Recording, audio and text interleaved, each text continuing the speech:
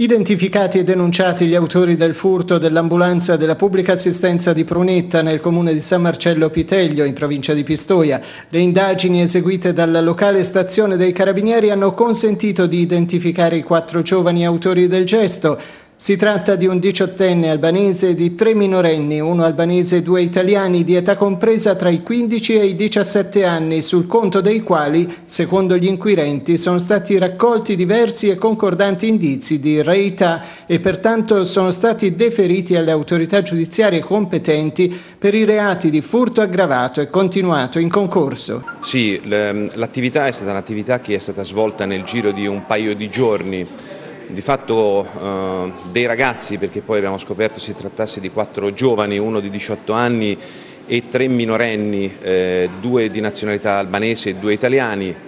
a um,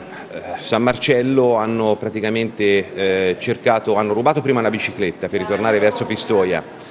dopodiché hanno provato a scassinare due auto senza, senza successo, danneggiandole di fatto le porte. Poi hanno forzato la, la porta dell'autorimessa della Croce Verde eh, di San Marcello riuscendo a reperire le chiavi di un'ambulanza che hanno rubato caricandovi all'interno addirittura la bicicletta che avevano precedentemente re recuperato, rubato. Eh, chiaramente il mezzo forse non era del più idoneo per raggiungere la piana, tant'è vero che dopo un chilometro, due chilometri l'hanno abbandonata.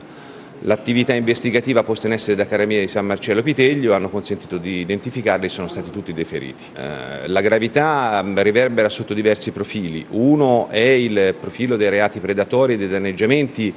che eh, colpiscono la gente in generale che ha il diritto di eh, vivere eh,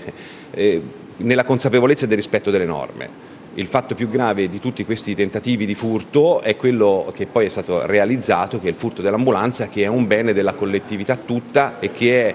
eh, là, questa, eh, proprio per garantire soccorso e quindi l'eventuale suo danneggiamento e asportazione ha creato sicuramente un grave episodio da perseguire in modo ferreo, ancorché la giovane età dei, dei ragazzi coinvolti nell'evento.